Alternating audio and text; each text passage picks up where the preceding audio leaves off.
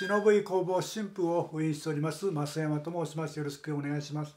今回はですね、えー、Zoom を使いましてオンラインで忍びのセミナーを開催しますのでこれのご案内になります。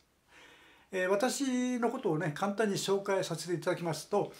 私の冬歴はですね小学3年生の頃からもう数えますともう60年以上経っておりますその後ですね、まあ、成人に達して本格的に、えー、忍いとかですね尺八を学んだわけなんですけども、えー、それでもねもう言うにもう40年以上経っております。まあ、その間にはですねいろいろなイベントとかコンサートあるいはね、えー、相馬地方は民謡などが盛んでしたので、えー、そういった民謡のね、えー、尺八とか吹いとかねもう吹きに吹きまくったっていたっていうような感じです。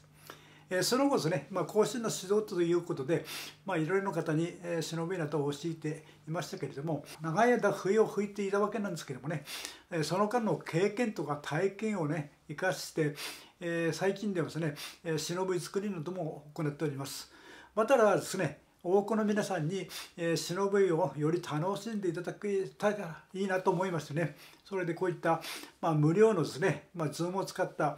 セミナーを開催することにしました。はい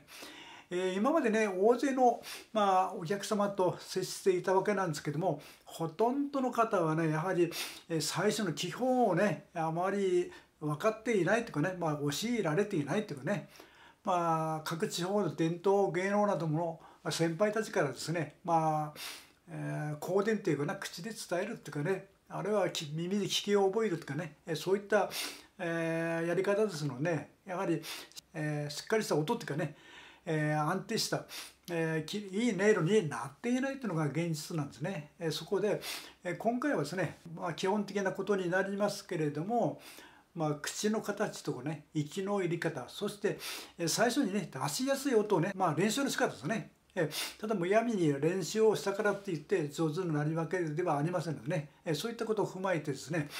えお伝えできればと思っております。えですのでね、今回、ぜひ、えこういったね、無料ですのでね、ご参加いただきたいなと思う方はですね、まあ、これからですね、忍びをやってみようかなと思っている方ですかね、あるいは今まで、まあ、過去ね、まあ、何年かあるいは何ヶ月間はやってはいるんだけどもなかなか思うようにね吹けないとかいえ音にならないっていうかねそういった方があればですね是非参考になるんじゃないかと思いますしまただね以前若い頃にね、えー、笛などをやっていたんだが最近はもう笛そのものもね単数の肥やしになってしまったなんていう方もおると思いますのでねそういった方ももう一度の、えー、こういった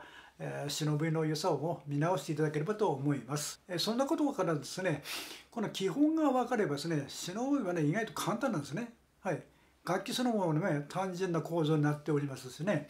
えですからまず先ほど私が言いますようにまずね、えー、口の形とかね息の入り方あるいはねこの音の出しやすい方法とかねあるいはまあ日頃の練習の仕方ですね、え特に練習などはね長時間やる必要ないですね。ただしですね1日に5分くらい10分くらいはね必ず手にするようにしてねそして一番いい状況の時の感覚をまずつかむってことですね。その正確な音はどんな音かとかねあるいは自分がそのいい音を出した時には自分の何て言うんでしょう、まあ、口っていうかね口の形はどんなだったかっていうそういったことを思い出しながらねやればね、えさらに、えー、いいね、えー、忍びを吹くことができるんじゃないかと思います。まあ、そのようなことで、え、今回ですね